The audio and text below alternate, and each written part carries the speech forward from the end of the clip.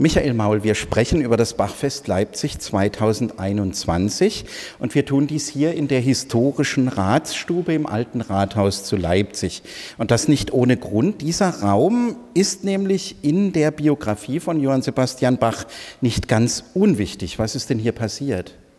Naja, in diesem Raum, muss man sagen, ist die Geschichte Bach und Leipzig losgegangen.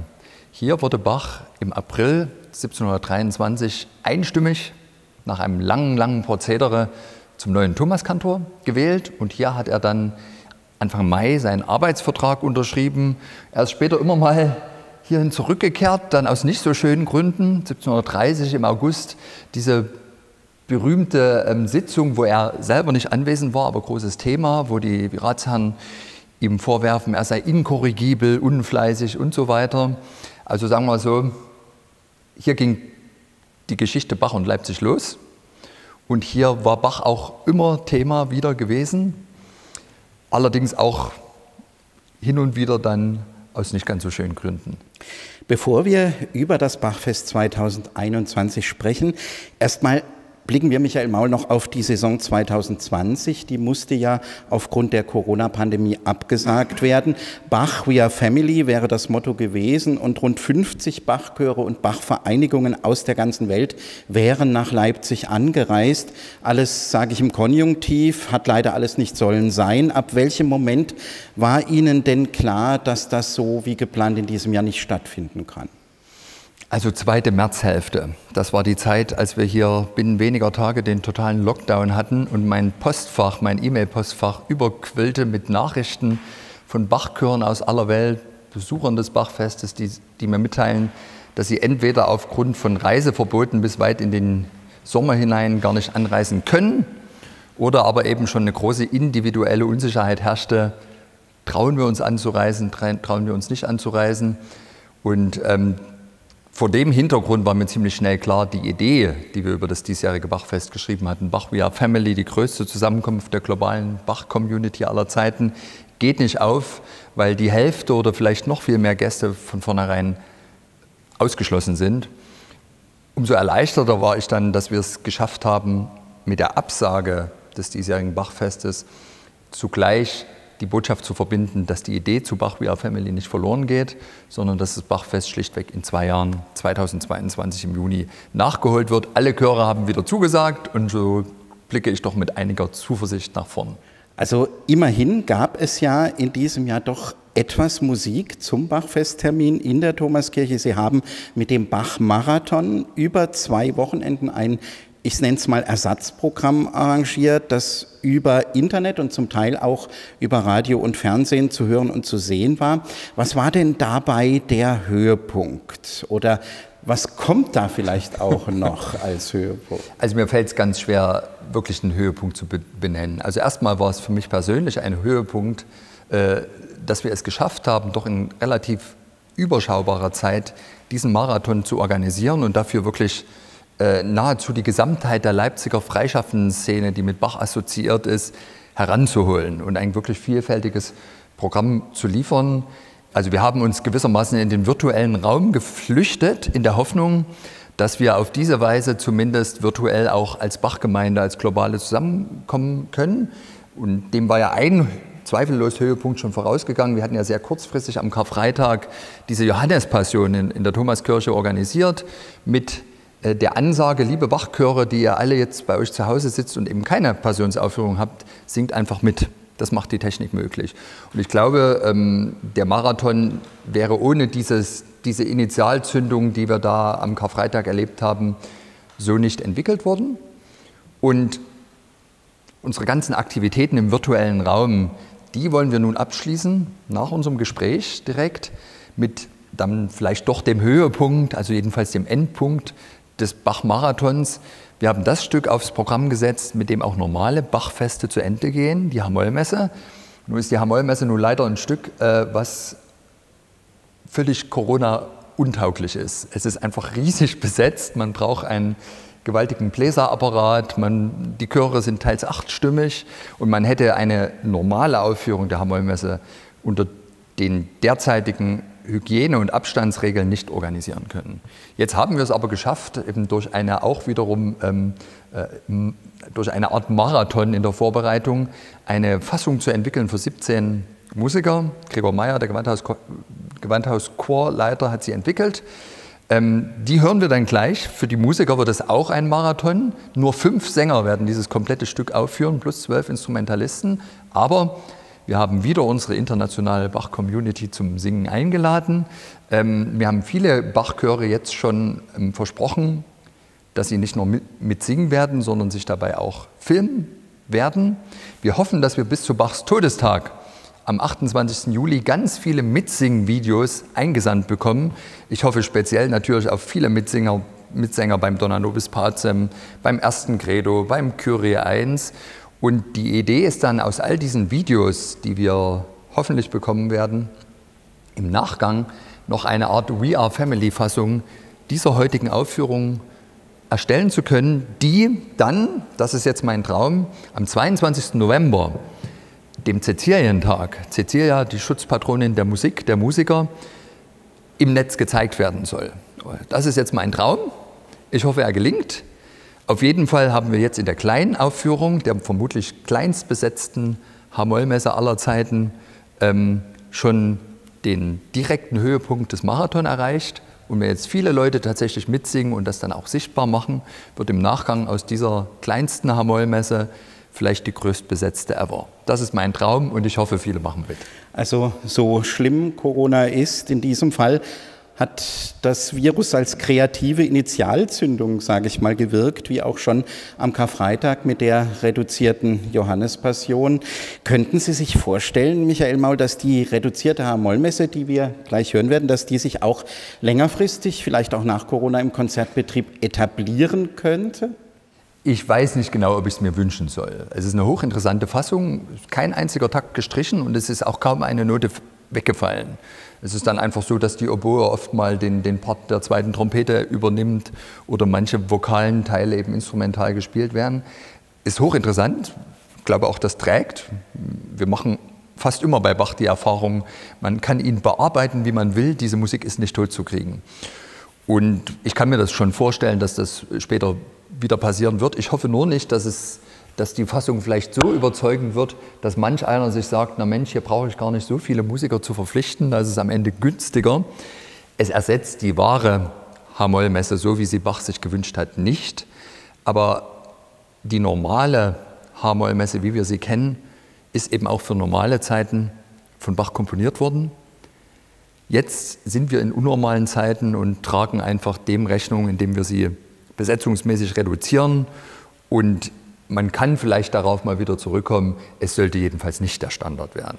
Stichwort Ausnahmesituation, also das diesjährige Bachfest wurde jetzt auf 2022 verlegt und ich nehme an, das liegt daran, dass Sie die Saison 2021 schon voll geplant haben. Ist das ja, richtig? Das ist vollkommen korrekt. Also als wir überlegt haben, wie gehen wir jetzt mit der bevorstehenden Absage um, hatten wir ursprünglich sogar überlegt, VR Family auf 23 zu verschieben.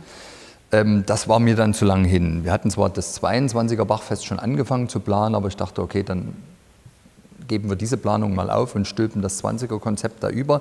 Das 21er Bachfest war schon vollkommen fertig geplant in seinen wesentlichen Bestandteilen und eins, was mir auch lieb und wichtig ist und das hätte ich nicht übers, übers Herz gebracht, praktisch mit der Absage 20 jetzt noch ein weiteres bereits geplantes Festival erstmal nach hinten zu verschieben. Das Motto der Saison im kommenden Jahr sehr interessant. Es lautet Erlösung. Im Mittelpunkt steht die Person Jesus von Nazareth, wie sie ich sag mal, in Bachs musikalischem Öffre reflektiert wird. Und am Anfang dieser Idee, Michael Maul, stand ein Brief, den haben Sie geschrieben an einen recht prominenten Theologen, sage ich mal, und ihn um ein Grußwort gebeten für die Saison 2021. Erzählen Sie mal bitte diese Geschichte. Ja, das ist eine sehr lange Geschichte. Bin auch, ehrlich gesagt, unheimlich stolz darauf. Ich muss tatsächlich dabei zwei Jahre zurückgehen. Wir hatten im Jahr 2018 meine erste Saison als Bachfestintendant den Kantatenring. Einen großen Kantatenzyklus, der mit großem Erfolg aufgeführt wurde. An zweieinhalb Tagen haben wir in zehn Konzerten 33 Bach-Kantaten mit den bekanntesten Interpreten aufgeführt. Und um Zäsuren zwischen diesen Stücken zu schaffen, ähm, immer die im Hintergrund stehenden Evangelientexte für die Stücke gelesen. Und als ich diese Lesung verfolgte, ähm, merkte ich erstmal, dass das Publikum das ähm, mit großer Freude und Interesse zur Kenntnis genommen hat, das auch als eine Hilfestellung begriffen hat. Aber ich merkte eben auch, dass gerade diese Kantaten, die Bach komponiert hat zwischen Weihnachten und äh, dem Osterfest, gerade in der Verbindung mit den Lesetexten eine wunderbare Biografie von Jesus Christus abliefern. Und da entstand schon der Gedanke, Mensch, man könnte vielleicht mal Kantaten zusammenstellen, einen großen Kantatenzyklus, weil mich eben auch viele nach dem Kantatenring fragten, wann macht ihr das wieder? Wann führt ihr wieder die anderen 30 besten Bach-Kantaten auf oder vielleicht mal die 30 schlechtesten? Wie könnte man unter einem anderen Motto einen großen Kantatenzyklus gestalten? Und so habe ich im Grunde schon im Kantatenring die Idee entwickelt, ich gehe mal im Nachgang dieses 2018er Bachfest hin und versuche aus den Bachkantaten ein großes musikalisches Konstrukt, was die komplette Lebens- und Wirkensgeschichte Jesu von Nazareth erzählt, zu entwickeln. Bin dann also im Sommer 2018 die Bachkantaten durchgegangen und ich muss sagen, das geht bemerkenswert gut. Man der, ich kann das jetzt verraten, der Zyklus wird beginnen mit der äh, Leipziger Probekantate Du wahre Gott und Davids Sohn, ein Text, der ganz stark über die alttestamentarischen Verheißungstexte auf einen Messias reflektiert. Dann geht es weiter mit Meine Seele erhebt den Herrn, die Ankündigung der Geburt. Herz und Mund, Tat und Leben ist auch so eine Art Reflexion auf Marias Lobgesang. Dann ist man schon beim Weihnachtsoratorium. Dann geht es weiter mit Christ, der, äh, Christ unser Herr zum Jordan kam, die Kantate zur Taufe. Irgendwann dann Einzug in Jerusalem, also Himmelskönig sei willkommen und so weiter und so fort. Und jetzt, äh, also mein Theologe, ich muss ja. bekennen, ich muss bekennen, ich bin ein äh, Lutheraner, also getaufter Lutheraner mit, ich sage es mal vorsichtig, küchentheologischen Kenntnissen. Und ähm, was mir schwer fiel bei diesem Gestalten des Zyklus, war eigentlich die ganze Wirkensgeschichte Jesu ähm, vor dem Einzug in Jerusalem.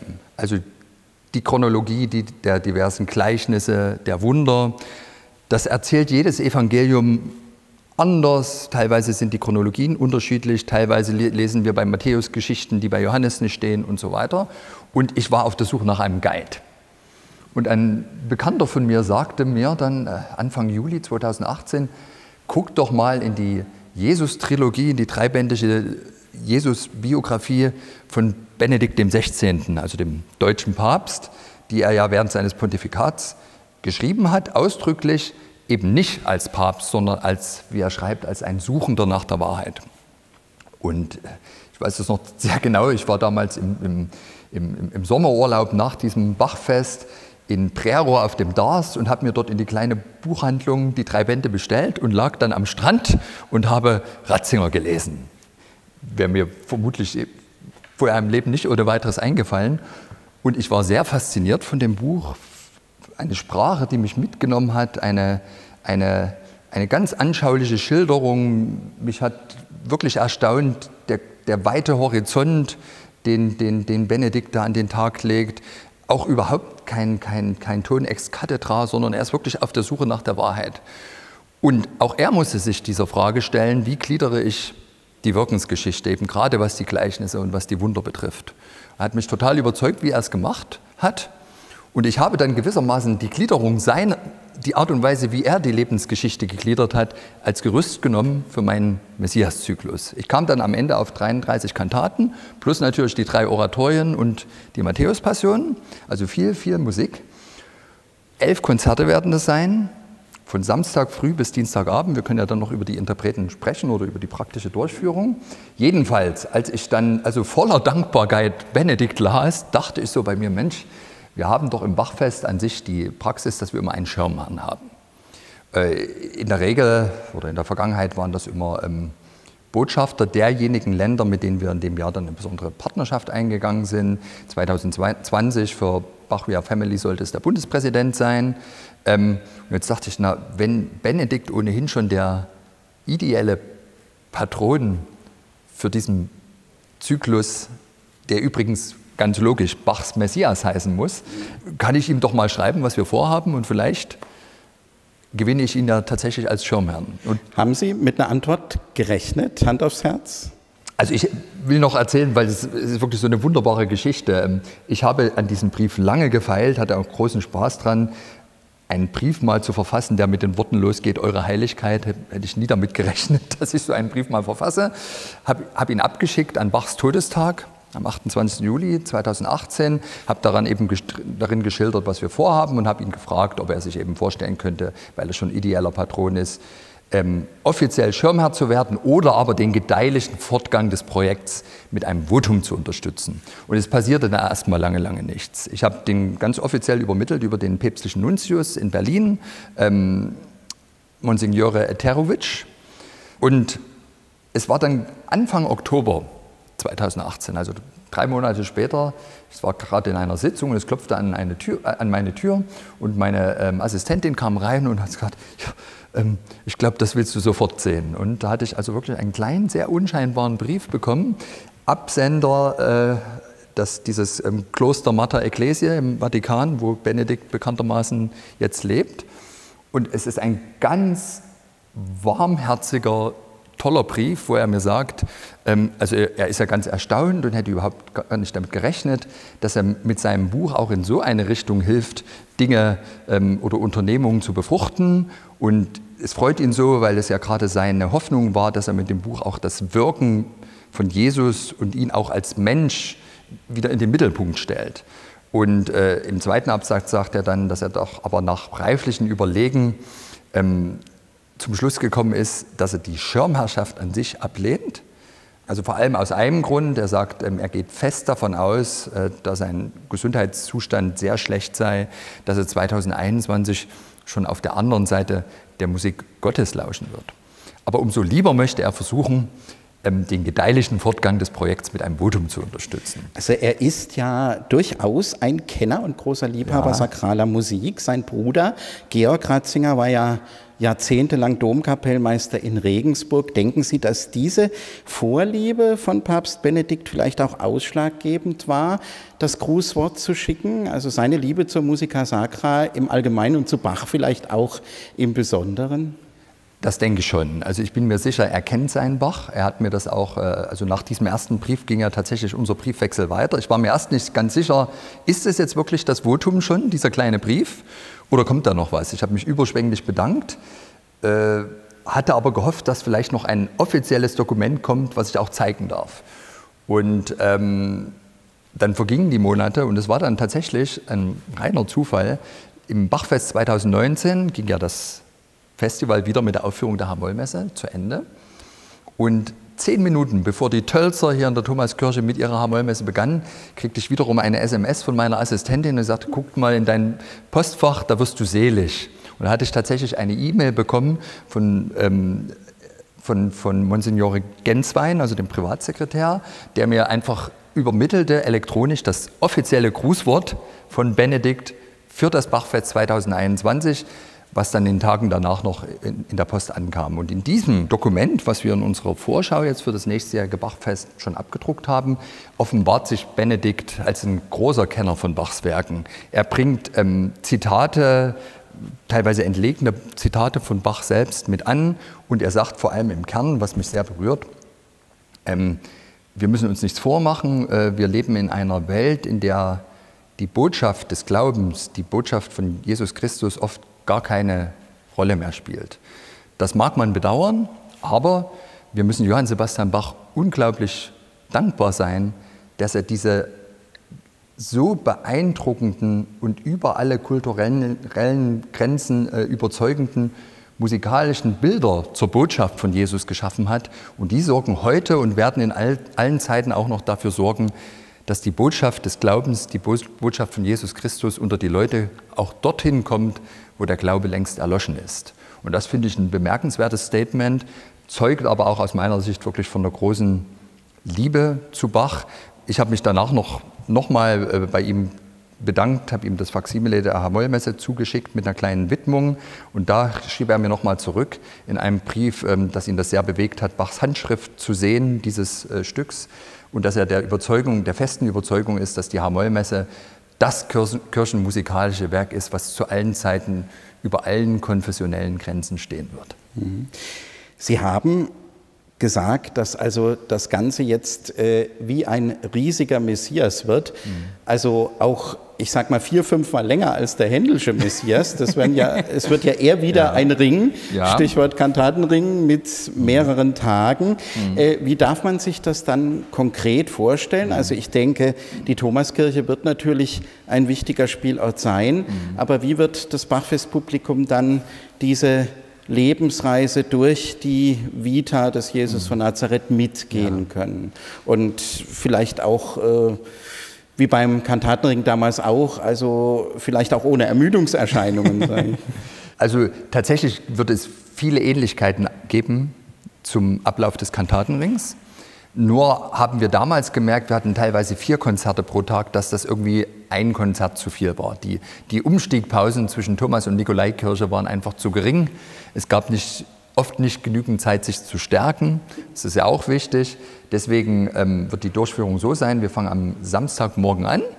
Am Samstag gibt es zwei Konzerte, am Abend ist dann eben Weihnachtsoratorium, Kantaten 1 bis 6, ein Konzert mit Überlänge. Und dann haben wir Sonntag, Montag und Dienstag jeweils drei Konzerte. Und wir werden es ganz ähnlich wie im Kantatenring halten, dass die, die Pilger, die diesen Bach-Messias besuchen, eben immer von Thomaskirche zu Nikolaikirche gehen und wieder zurück. Also mit anderen Worten, wir bleiben an, an Bachs originalen Spielstätten. Was wir auch beibehalten, ist eben diese Praxis, die wir im Kantatenring so schön ausprobiert haben.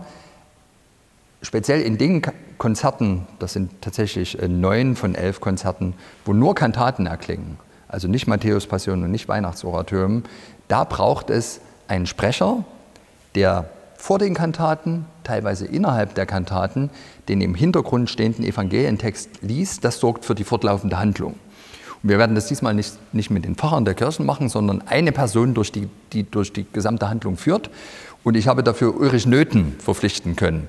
Ganz bekannter deutscher Schauspieler. Ich hatte verschiedene Personen auf dem Zettel, er, er war einer davon. Und als ich mir dann ergoogelte, dass er aus einem protestantischen Augsburger Pfarrhaus stammt, dachte ich, das ist ein Versuch wert, habe mich mit ihm getroffen und er war ganz fasziniert und begeistert von dem Projekt und hat mir direkt zugesagt. Wir haben noch einen anderen ständigen Begleiter durch dieses Projekt und das ist ein bekannter Leipziger Maler, Michael Triegel. Michael Triegel ist auch eine schöne Verbindung wiederum zu Benedikt. Er hat nämlich diese berühmte Benedikt-Porträt, was vor einigen Jahren doch allerhand Furore gemacht hat, gemalt und ich bin auf Michael Triegel zugegangen und habe ihn gefragt, ob er sich nicht vorstellen könnte, anhand der Mottos der einzelnen elf Konzerte eine Art Kreuzweg zusammenzustellen mit seinen Bildern, der im Grunde diese Lebensgeschichte nachzeichnet. Und man kann hier im Hintergrund schon ein bisschen sehen, auf was das hinausläuft. Also er hat jetzt natürlich zugleich schon die Hauptmotive geliefert.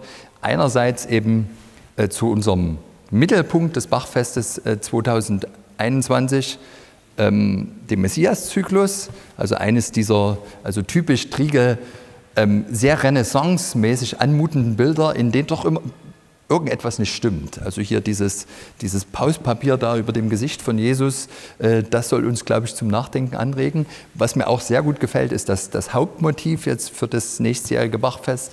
Ähm, das ist jetzt eine Art Collage aus unserem bekannten Bach-Hausmann-Porträt und eben dem Salvator von Triegel, die sich hier Auge in Auge gegenüberstehen. Und ich muss sagen, also mir gefällt das ausgezeichnet, weil es auch so schön, finde ich, damit spielt. Also für viele von uns Bachianern ist ja Bach eine Art Ersatzreligion auch. Und der alte Spruch äh, von dem äh, äh, schwedischen äh, Superintendenten, Bach als fünfter Evangelist, gilt ja wirklich vielen. Und manch, manch einem ist eben Bach auch Gott. Ja? Also das gibt es ja große Persönlichkeiten, die so etwas gesagt haben. Peter Schreier fällt mir zuletzt ein. Kurzum, er ist mein Gott, hat er gesagt. Also mir fällt da Leonard Bernstein noch ein, auch ja. wenn ich mir dieses Bild anschaue mit Bach und mit dem Salvator auf Augenhöhe. Bernstein soll ja gesagt haben, nicht alle Musiker glauben an Gott, aber an Bach glauben sie alle. Also das passt natürlich auch. Michael Maul, Ulrich Nöthen haben Sie mhm. erwähnt beim Kantatenring mhm. waren ja eigentlich war ja die Crème de la Crème der mhm. Bach-Interpretation mhm. da. Also Ton Kopmann, Sir John Elliott Gardiner, Hans-Christoph Rademann. Wird das mhm. beim Bach-Messias jetzt auch wieder so sein? Welche Interpreten haben Sie eingeladen? Ja, es ist nahezu deckungsgleich. Also mein Vorsatz war auch wieder, die Crème de la Crème zu bekommen. All die, die am Kantatenring mitgewirkt haben, sind wieder dabei mit zwei Konzerten, bis auf eine Ausnahme. John L. Gardiner hat mir einfach schon vor anderthalb Jahren sehr deutlich gesagt, dass er sich 2021 fest vorgenommen hat, ein Sabbatical zu machen. Das musste ich akzeptieren. Umso wichtiger war es mir jetzt neben Suzuki, neben Kopmann, neben Rademann einfach auch noch die, also die Generation 1 unter Kopmann, also nicht nur die alten Recken, äh, mit in den Mittelpunkt zu stellen. Da gibt es hochinteressante Ensembles, wie wir alle wissen. Ich hätte auch gern Herrewege dabei gehabt, das hat leider äh, terminlich nicht geklappt, aber wer eben jetzt noch zusätzlich hin, hinzukommt, jetzt inzwischen auch schon ein von der Bachfestgemeinde gern gesehener Gast ist Václav Lux mit seinem Kollegium 1704. Die werden zwei Konzerte machen. Wolfgang Katschner mit der Lauten Kompanie und dem Eriksen, Erik Eriksen äh, Kammerchor aus Schweden. Der Rias Kammerchor mit Justin Doyle wird dabei sein. Also kurzum, wir haben doch, glaube ich, eine große Bandbreite der, der, der Champions League an Bach-Interpreten, viele unterschiedliche Ansätze, aber ich will es diesmal auch nicht darauf zuspitzen, dass die jetzt beim Musizieren der besten Bach-Kantaten gewissermaßen virtuell gegeneinander antreten, sondern sie alle wirken ja an diesem großen musikalischen Porträt der Wirkungsgeschichte Jesu mit. Und ich bin auch ehrlich gesagt der festen Überzeugung, dass Bach selber diese Idee wahrscheinlich sehr gefallen hätte. Wir haben ja diese schöne Bemerkung von ihm, als er im Jahr 1708 dem Mühlhäuser Stadtrat versucht zu erklären in seinem Abschiedsgesuch, warum er nach nicht mal einem Jahr Mühlhausen Richtung Weimar verlässt, sagt er ja ganz klar, ähm, der Hauptgrund ist, dass es mir hier nicht gelungen ist, als Teil meiner Kerndienstaufgabe eine wohlregulierte Kirchenmusik Gott zu ehren, aufzuführen und zu, und zu dirigieren. Und äh, das heißt ja de facto, äh, er sagt, ähm, die Orgel allein ist ihm nicht mehr genug. Er möchte eben Vokalmusik, Kantaten musizieren, Gott zu ehren. Und tatsächlich hat er ja dann in Weimar beginnt, aber dann vor allem in der Leipziger Zeit nichts anderes gemacht, als eben sich Sonntag für Sonntag immer wieder Begebenheiten meistens aus der Wirkungsgeschichte von Jesus vorzunehmen und musikalisch zu porträtieren. Und man kann ohne weiteres behaupten, Bach hat im Grunde genommen sein Leben lang dieses Bild, diese große Komposition Bachs Messias immer mehr verfeinert, immer mehr Musiksteinchen, Mosaiksteinchen hinzugefügt. Und wir versuchen eben jetzt dieses Gesamtbild sichtbar zu machen. Und ich bin mir sicher, das wird für uns alle auch eine total interessante Erfahrung, weil die Kantaten dann nochmal in einem anderen Kontext erscheinen und man auch feststellen wird, dass sie eben tatsächlich ähm, vielleicht nicht so berühmt sind und so häufig aufgeführt werden wie die Passionen oder die Oratorien, aber doch aus dem gleichen Holz, musikalischen Holz geschnitzt sind. Bachs Messias, Michael Maul, das wird also das Herzstück des Bachfestes 2021 sein. Aber es gibt ja noch einiges mehr. Das Motto lautet Erlösung, wie wir schon sagten. Nun können ja dramaturgische Ideen Segen und Fluch zugleich sein. Stichwort Zwangsjacke, also das Bachfest mit fast 100 Veranstaltungen insgesamt. Lassen die sich nun alle unter dem Stichwort Erlösung subsumieren? naja, also wenn man genau hinschaut, findet man die eine oder andere Veranstaltung, wo es nicht ganz leicht ist, die, die, die Brücke zur Erlösung zu bauen. Ich habe das Motto Erlösung letztes Jahr im Herbst festgesetzt, nach langem Überlegen. Ähm, dachte natürlich, dass es ein schöner Überbegriff, natürlich Überbegriff zum Messias ist. Ähm, unter all den Erlösern der Weltgeschichte ist natürlich Jesus von Nazareth ganz zentrale ähm, Persönlichkeit, dass das Motto Erlösung jetzt sogar noch eine andere Bedeutung vor dem Hintergrund des abgesagten Bachfests 2020 bekommt, habe ich nicht ahnen können. Mhm. Aber Vielleicht wenn, ist ein Impfstoff gefunden bis dahin. ja, ich denke vor allem, es wird sich für unsere vielen Bachfreunde aus aller Welt in 2021 einfach wie eine Erlösung anfühlen, dass endlich wieder ein Leipzig-Bachfest stattfindet. Ähm, aber ähm, wenn man in das Programm schaut, wird man feststellen, erstes Wochenende steht unter diesem ähm, Schirm des, des Messias-Zyklus. Rings um das zweite Wochenende beschäftigt uns sehr ein anderer Zyklus von Johann Sebastian Bach, der ähm, ein Jubiläum hat in 2021. Wir feiern 300 Jahre brandenburgische Konzerte. Die Widmungspartitur, die berühmte, ist aus dem Jahr 1721. Und wir werden in insgesamt fünf Konzerten die brandenburgischen Konzerte aufführen, aber immer in den Kontext gestellt mit Stücken, die im Grunde den, das, das Phänomen der brandenburgischen Konzerte kontextualisieren. Natürlich kommen Vivaldis Concerti con Multistrumenti, Telemanns Gruppenkonzerte und so weiter mit tollen Ensembles, Europa Galante, Fabio Biondi kommt, es kommt äh, äh, Reinhard Göbel mit, dem, mit den Berliner Barocksolisten, es kommt die Kamerata Köln und so weiter. Und sagen wir mal so, ich habe im, im letzten Sommer lange Zeit überlegt, wenn wir als die beiden zentralen Zyklen einerseits Bachs Messias haben, andererseits die Brandenburgischen Konzerte, was kann es da für einen Überbegriff geben? Und ich bin ehrlich gesagt ein bisschen gescheitert. Und mit der Erlösung konnte ich mich dann deswegen anfreunden.